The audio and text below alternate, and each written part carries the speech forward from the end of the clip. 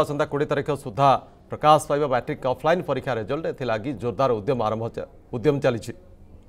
ଚଳିତ ବର୍ଷ ବହୁ ଅସୁବିଧାର ସମ୍ମୁଖୀନ ହୋଇଥିବା ସତ୍ତ୍ୱେ ଗତ ବର୍ଷଠାରୁ ଶୀଘ୍ର ଆରମ୍ଭ ହେବ ଯୁକ୍ତ ଦୁଇ ନାମଲେଖା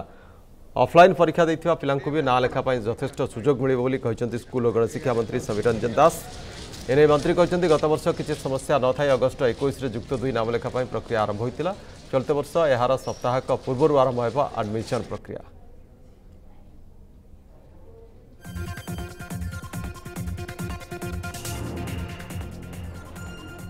ଗତ ବର୍ଷ ଅଗଷ୍ଟ ଏକୋଇଶରୁ ଫର୍ମ ଫିଲ ପଡ଼ିବା ସାମରେ ଆରମ୍ଭ ହୋଇଥିଲା ବିଗତ ବର୍ଷ ତେଣୁ ସେ ସମସ୍ୟା କତି ନଥାଇକିରି ମଧ୍ୟ ସୋ କିଛି ବିଶେଷ ବିଳମ୍ବ ହୋଇନାହିଁ ଆମେ ତ ଏଇ ଯେଉଁ ମେଟ୍ରିକ୍ ପିଲାମାନେ ପରୀକ୍ଷା ଦେଇଛନ୍ତି ତାଙ୍କୁ କଥା ହେଇଛି ଯେହେତୁ ସୁଯୋଗ ଦେବା ପାଇଁ ଯଦି ରିଭିଜନ୍ ମାର୍କ ଯାହାର ଆସିବ ସୁଯୋଗ ଦିଆହେବା ପାଇଁ କୋଡ଼ିଏ ତାରିଖ ଭିତରେ ରେଜଲ୍ଟ କାଢ଼ିବା ପାଇଁ ତ ବୋର୍ଡ଼ ତା'ର ପ୍ରକ୍ରିୟା ଆରମ୍ଭ କରିଛି ବାର ତାରିଖରୁ ଖାତା ଦେଖା ଆରମ୍ଭ କରୁଛି ତେଣୁ ସେ ପିଲାଙ୍କ ପାଇଁ ମଧ୍ୟ ଯଥେଷ୍ଟ ସୁଯୋଗ ଦିଆହେବ ଆମେ ଗଲା ବିଗତ ବର୍ଷ ଅଗଷ୍ଟ ଏକୋଇଶରୁ ଆରମ୍ଭ ହୋଇଥିଲା ଏବର୍ଷ ଯାହା ହେଲେ ସୁଦ୍ଧା ପାଖାପାଖି ସପ୍ତାହେ ପୂର୍ବରୁ ଆମେ ସେ କାର୍ଯ୍ୟକ୍ରମ ଆରମ୍ଭ ନିଶ୍ଚିତ ଭାବେ କରିବା ପାଇଁ ବିଭାଗ ସ୍ଥିର କରିଛି ସେ ସମ୍ପର୍କରେ ଖୁବ୍ ଶୀଘ୍ର ନିଷ୍ପତ୍ତି ନିଆଯାଇ ଆମେ ତା'ର ତାରିଖ ଘୋଷଣା କରୁଛୁ ଏବଂ ଗୋଟେ ମାସ ପର୍ଯ୍ୟନ୍ତ ମଧ୍ୟ ସମୟ ଦେବା ପାଇଁ ଆମେ ସ୍ଥିର କରିଛୁ ଏଥର ସମସ୍ତଙ୍କୁ ସୁଯୋଗ ଦେବା ପାଇଁ ବିଶେଷ ଭାବରେ ଯେଉଁ ପିଲାମାନଙ୍କର